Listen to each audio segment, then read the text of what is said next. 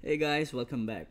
So from our previous video, we learned about how to use the simulator and also we learned how to blink the LED on and off.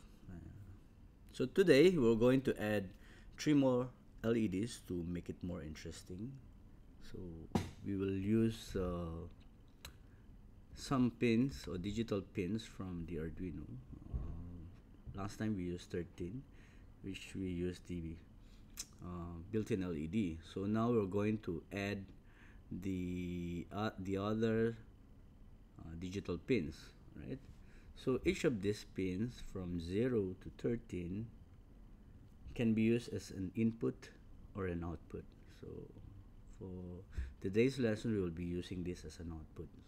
So we will we will use the input statement uh, to my uh, probably uh, the next video or third video.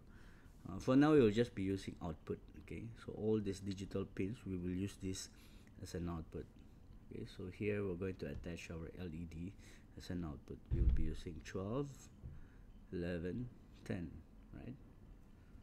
Uh, output like I said uh, output is to is when we feel is when we see or when we hear that there is an output, right? So LED is an output is because we can see the light. So each of this pin can provide us uh, 5 volts and receive 20 milliampere. This is a recommended operating values and it can go until 40 milliampere but you must not exceed or else uh, you will damage your microcontroller alright the Arduino will be powered by the USB here as you can see from the simulator. So if you buy this uh, they will provide you the I think they will provide you the USB if they don't then you need to buy the USB cable uh, this one okay? Uh, it comes with a USB cable. So the USB cable it looks like this. So the other end of this USB cable will be attached to your computer right again. All right so again we will be using uh, pin mode. Uh, we go to our code editor here. We will be using pin mode. Digital write okay? Functions these are both functions to our code editor. Like I said if you want to learn more about functions and uh, the language uh, the language that we use this is a C++ C++ simplified okay so you will learn the structures the variables and the functions. Okay you just go to the Arduino website. Okay before we do a pro this uh, program let's define first what is the what is LED okay let's go and get one LED here. Alright LED where are you? There you go. Yeah maybe put here first at one side. Then we need resistor and we need a breadboard. Okay later on we're going to explain each one of this. All right we we put it here first. Okay let's bring this thing down. Okay LED this one. So LED is an electronic component that lights up whenever the electricity passes through.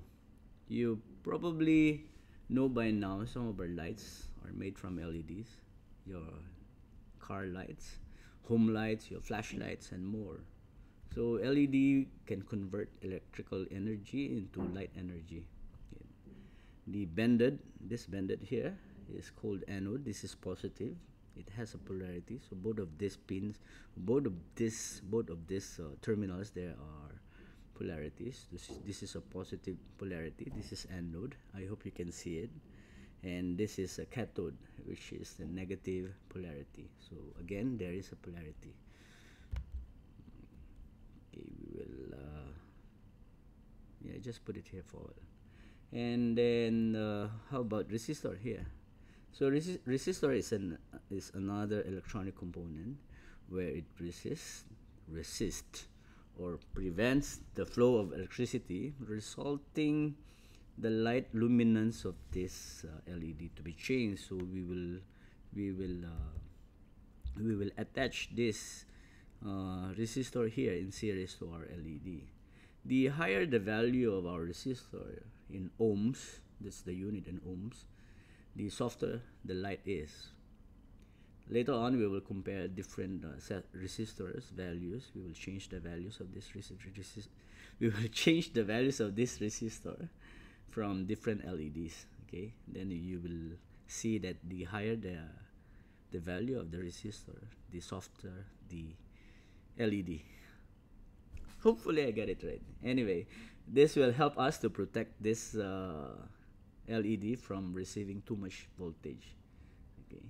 In short, uh, uh, if the LED is so bright, that means uh, it can easily damage, right? It can quickly burn out without a resistor. So imagine if you remove this, it can easily burn out this LED. Okay, now this one, what is this? This is a breadboard. This is a tool which you can build electronic circuits. So like this one, you attach this LED here. It consists of rows, uh, rows or rows as this one. Okay, horizontally these are rows and these are columns, right? Each of these are columns. This one also columns. This one also rows. Okay, this breadboard has a lines of connections. This breadboard here, it has con horizontally connection, uh, horizontally connected and vertically connected. So this horizontal line is used for uh, power and the ground. Ground is negative.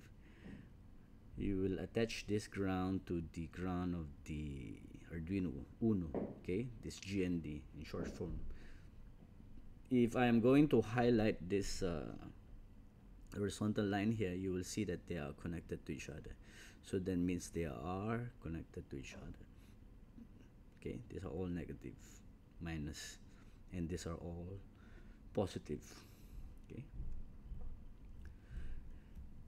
All right, and uh, this uh, columns they are connected to each other so from here to here they're connected from here to here they are connected so this gap here is uh, this gap in the middle of this board has no connection okay?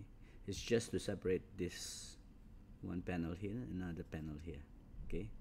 Just to separate these uh, two panels so from here to here okay? So this is a gap at the middle of this breadboard.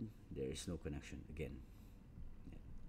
All right so let us now finish all the connections so that we can complete our circuit. Okay let's uh, connect this negative here. Okay let me okay. All right I will drag this down here.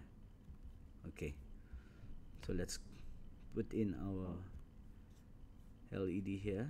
I put my resistor here. We need three. This I just uh, control C and then uh, control V or control C and control V yeah. If you are using Windows if you are using Mac you can just uh, co command C and command V. Okay another one for resistor also. Oops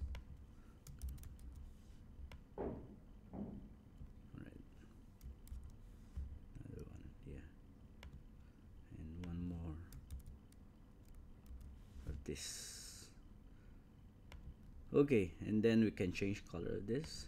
I will uh, make this a green.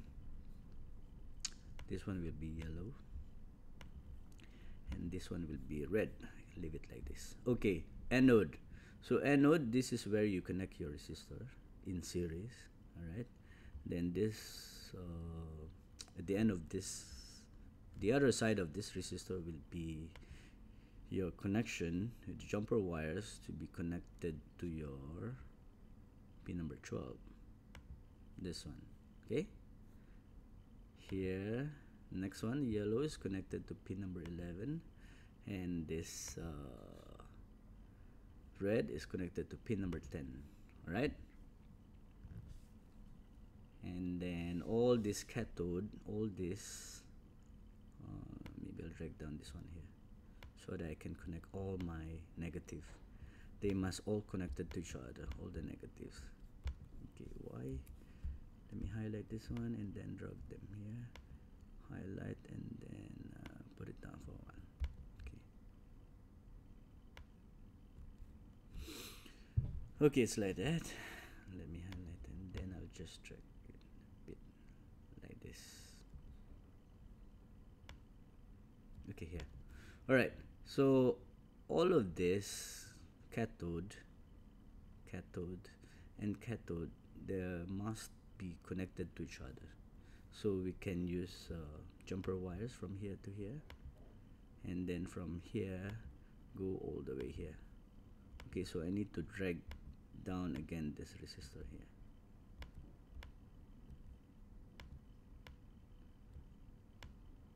Alright there you go. And then here will be connected to our ground here or we can straight away here.